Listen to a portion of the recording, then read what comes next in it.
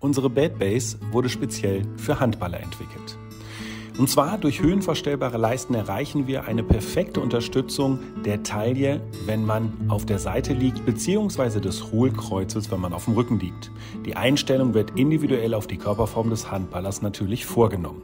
Auch im Beckenbereich haben wir Höhenverstellungen bis zu fünf Stufen. Hier in dem Muster sieht man mal zwei Stufen nach oben. Dort geht es um gute Unterstützung. Entscheidend ist die Schulterabsenkung, um den Wurfarm des Nachts wirklich zu entlasten. Und das sieht man hier.